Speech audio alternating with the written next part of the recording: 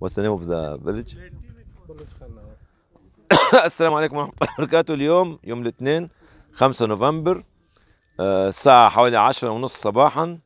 وإحنا في قرية اسمها بلوش خان نور في منطقة شاغي في بلوشستان في باكستان. وده آه، بئر حفرته الإغاثة الإسلامية في السويد.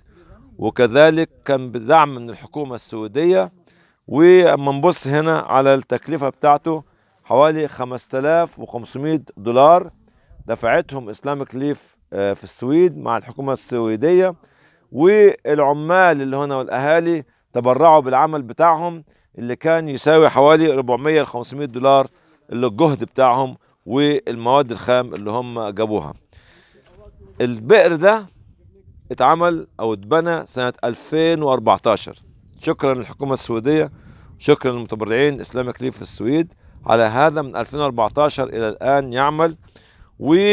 والنظام اللي هو الطاقة الشمسية ده علشان آه، تولد لنا طاقة آه، يعني هو يعني نظام الطاقة الشمسية زائد البئر زائد الماسورة اللي هي بتودي المية لغاية القرية اللي فيها أكثر من 30 ق- أسرة يعني حوالي 250 آه، فرد تقريبا استفادوا من هذا.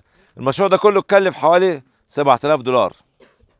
7000 دولار لكنه ما زال يأتي بالماء الصالح للشرب للحيوانات ولل آه، البشر علشان يعيشوا ونقلل عدد المرضى ونسبة المرض في هذه القرية.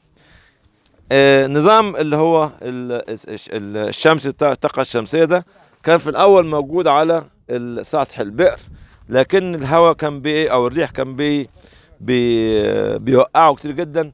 فالأهالي بمخهم النظيف وطريقتهم مبدعة عملوا النظام هو علشان أمرين. الأمر الأول ياخد أكبر نسبة من الطاقة الشمسية وعارفين حركة الشمس هنا بتمشي يمين وشمال. والأمر الثاني علشان ما يجيش ريح قوي يقتلعه زي ما كان هو موجود فوق هنا.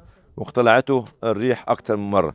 فنشكر الأهالي المبدعين والحل هو حل الأهالي نفسهم ووجود الحل يكون من من أهل البلد نفسها والحل لمثل هذه المناطق هو التنمية التنمية التنمية.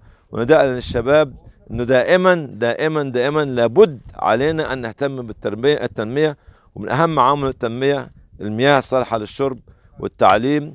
وبناء الأسواق وبناء الحرفيين ها وتعليم النساء والأطفال إلى آخره. وجزاكم الله خيرا ونلتقي في قرية أخرى إن شاء الله. والسلام عليكم ورحمة الله وبركاته.